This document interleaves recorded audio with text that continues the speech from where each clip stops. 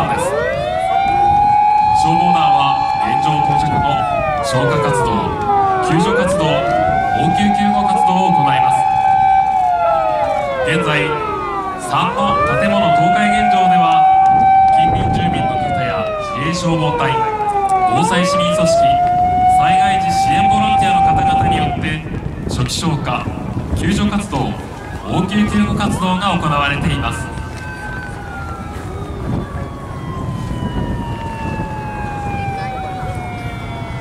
続いて会場の左側から消防活動に通称クイックアタッカーが出場してまいりました。オフロードタイプのバイクの機動性を生かし道路の上バイクで急行いたします到着後消火活動や応急救護災害状況の情報収集を行いますまた皆様上空をご覧ください消防ヘリコプターが上空を飛行しております道路が塞がってヘリコプターによりエアハイパーレスキューなど1000件隊を投入し災害状況の情報収集を行いますヘリコプターが会場に接近する際強い風が吹く恐れがあります身の回りのものが飛ばされないよう十分にご注意くださいまもなくエアハイパーレスキュー隊員が来航いたします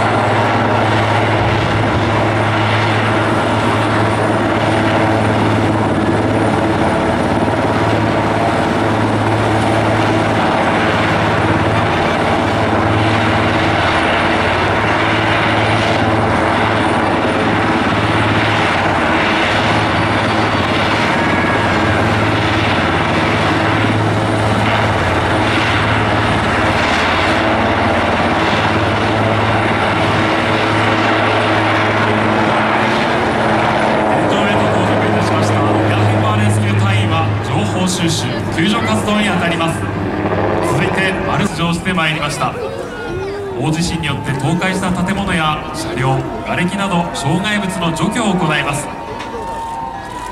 さて左側から登場いたしましたのは消防救助機動部隊通称ハイパーレスキューです。丸三の建物付近で先ほどの救助用重機などを活用し逃げ遅れた方の検索救助活動を行います。現場に到着した消防救助機動部隊部隊長がこの災害現場での指揮を執ります。北へ機動部隊長から隊員に対して活動について力強い加盟がなされますのでぜひお聞きください。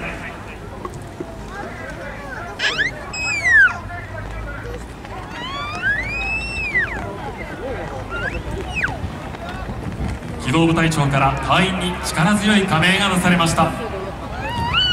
ホイールローラーが地震によって発生した瓦礫そして車両の除去を行っております。また会場の中央付近に停車いたしました大型の救急車をご覧ください。こちらは昨年発隊いたしました救急機動部隊です。季節や時間帯によって変化する救急需要に対応し